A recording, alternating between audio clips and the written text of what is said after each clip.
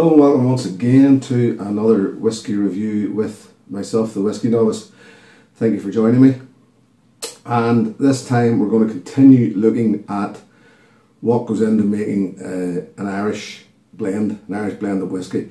Uh, I started episode one, review number one to three, looking at three uh, Bushmill blends. And uh, as I explained at the time, what goes into an Irish blend, I think I explained at the time, that uh, in an Irish blend you will find single malt, single grain, and single pot still whiskey. Well, I looked in the last two reviews at single malt, two Bushmill single malts, and this time we're moving on and looking at Teeling single grain. So, Teeling Distillery, a relatively new distillery down in Dublin, opened in 2015, I believe, and uh, producing award winning whiskies, which we will get into at another time.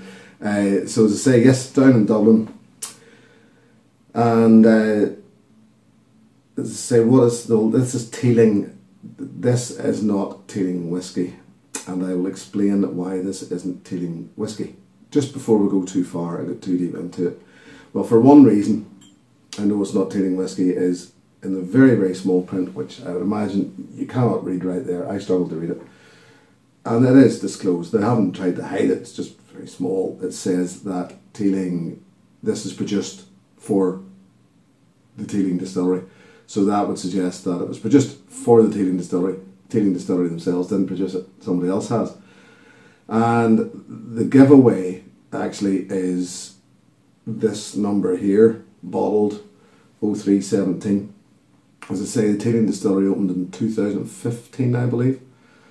And uh, in order for an Irish or Scotch whisky to be whisky, to be called whisky, it has to spend three years maturing in a wooden barrel.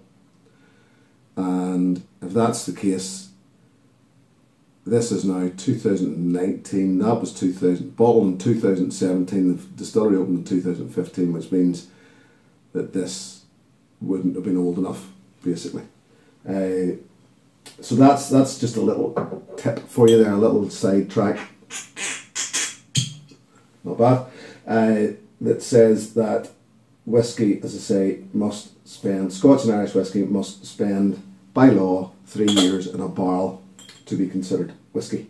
So, got that out of the way. It doesn't really make a great deal of difference about where it's made at this point. I mean, you know, as I say, I'll get into that later. There's an awful lot of young Irish distilleries now, an awful lot, and they're putting out whiskey.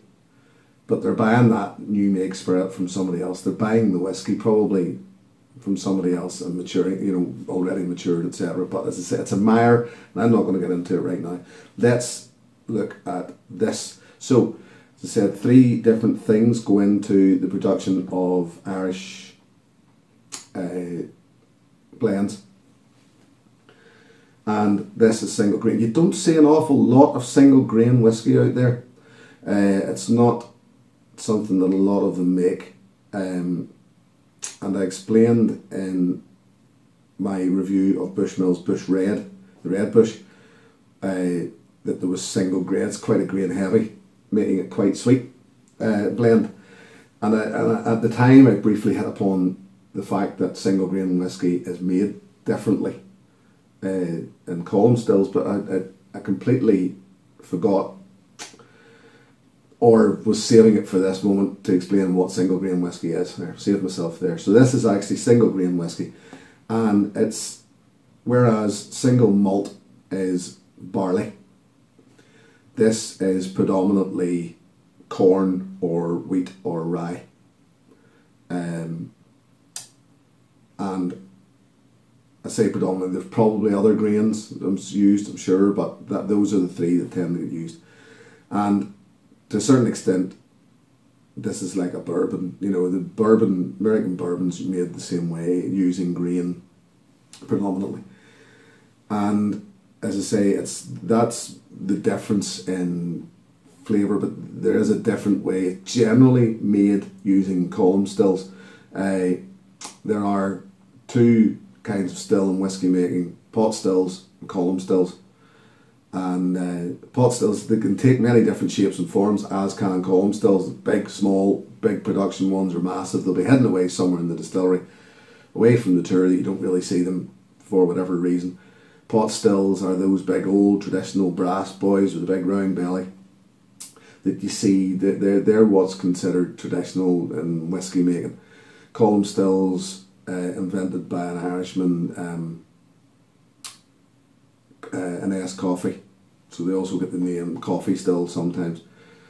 And I could try and explain how a Coffey still works, a column still, as opposed to a, a pot still.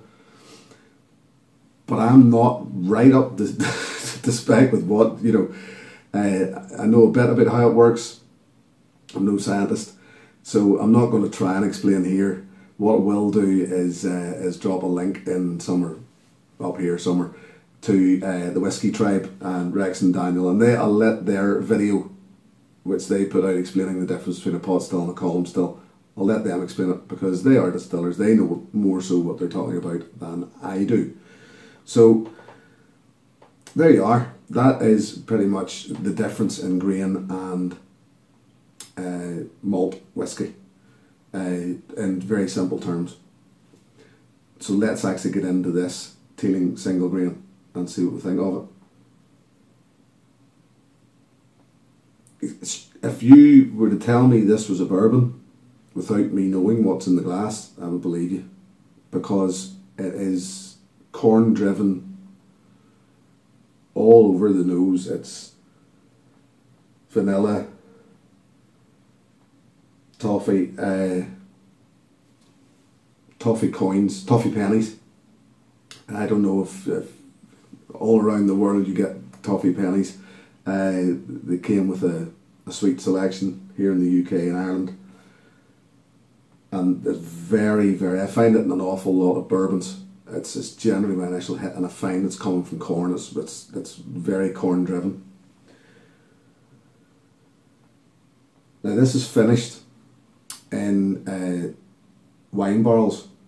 I think particularly red wine, I think it's Cabernet Sauvignon barrels, which is it's quite to me I find quite strange for uh, such a light whiskey because it's it's unchill filtered, whether there's colour in it or not. It certainly says that there's no chill filtering in it. It doesn't mention colour, but I wouldn't imagine there's an awful lot of colour in that because you know it's it's pretty clear. It's been in red wine red wine barrels. I don't know how long it's been in the red wine barrels, but it's been in there and I'm convinced, and it could just be the fact that I know it's been in wine barrels, but I'm definitely convinced there is a there's a wine, there's a grape sensation in it. That if you get a good hefty, full bodied red wine and get right into it, that's I'm convinced it's on there. There's also a hint of, and yet again, you'll find this bourbon over ripe banana, mint, spearmint, it's very fresh and very sweet, very sweet. So what about the palate?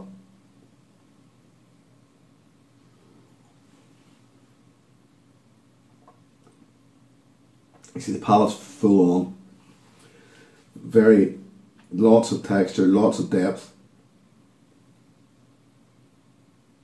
Still bourbon like, but but getting more peppery, which would suggest that there would suggest to me certainly that there's rye in the in the in the mash bill as well. Now, there's two words mash bill.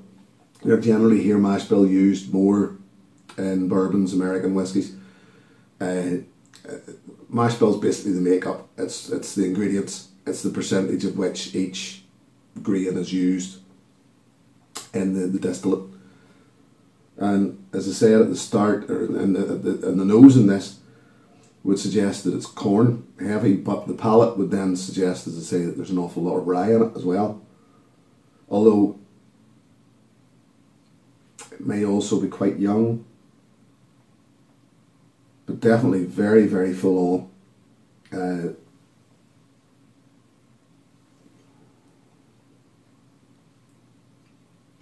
the delivery and the development are very, very split. The delivery is what really where you get your initial reaction as it enters the mouth and what you're getting there. And the development then is that as you work on it, give it a bit of work in your mouth. Two very, very different things. Lots of caramel, quite dry, quite astringent. Don't know if the wine had any effect on that, whether that maybe. So the pepper is actually quite overpowering.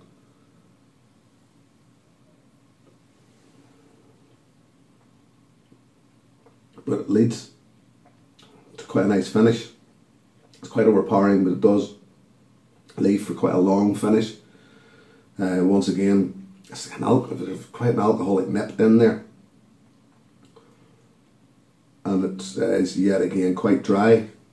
And I'm noticing a citrusy thing right at the very back. Very good whiskey, I think, very good quality. And say, because you don't see an awful lot of single grain whiskey out there, you're not really maybe getting the chance to try out as much as you would like. And this one stands out then as something different because it is like a bourbon, but it's not like a bourbon either. You know, there, there's enough difference in it to, to to suggest that it's not bourbon. You know, now I'm going to add this is forty six percent uh, ABV. There's not a lot left in the glass. There's never I didn't really pour an awful lot, so I'm going to add. I mean, probably if you were having a good glass of this, you probably could be quite. Uh, you could probably give this some water. Whether it'll take it or not, I wouldn't give it a whole lot. As I say, it's 46%, but it's quite light. So, even at a higher ABV, you could thin it very quickly. Really, well, what it's done to the nose straight away is, is softened it. It's maybe turned up the, uh, the, the mint, actually, the spearmint maybe a, a tad. It's still very, very rich and sweet and caramel, corn like.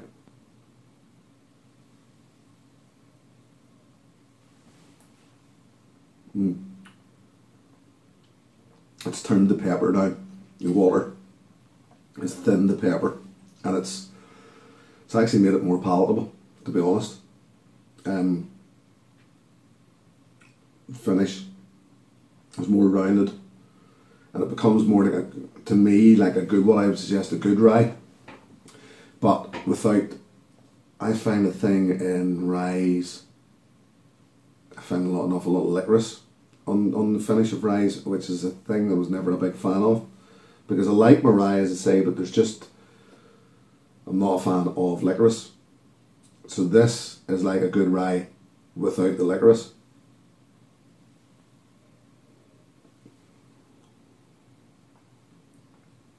Mm. Yeah, that water has actually, to me, improved that.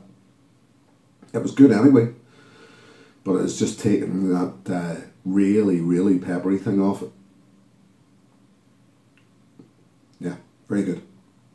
Now this is, uh, as I say, single grain. Not see too many of them about, and Teeling, as I say, becoming bigger and better and winning awards and etc. For whiskey, which I'm not going to, as I say, get into this because it's it's quite it's probably a political thing. I don't know. I don't want to get myself into into deep water. It's uh, it's whiskey that's been somebody else's. There's the there's a long link between. I would suggest this is actually Cooley whiskey, because there's a long link between the Teeling name and the Cooley distillery, uh, fathers and sons, etc.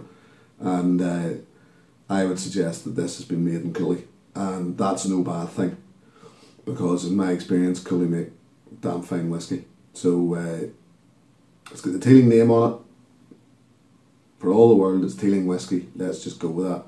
It's good whiskey. If a little bourbon like, but I would highly recommend it to anyone. So that's about that. I'm going to leave that with that and move on. And I'll see you again next time. And for now, here's to your good health. Cheers. Hey, thanks for watching my video. Please click and subscribe to be notified of further content.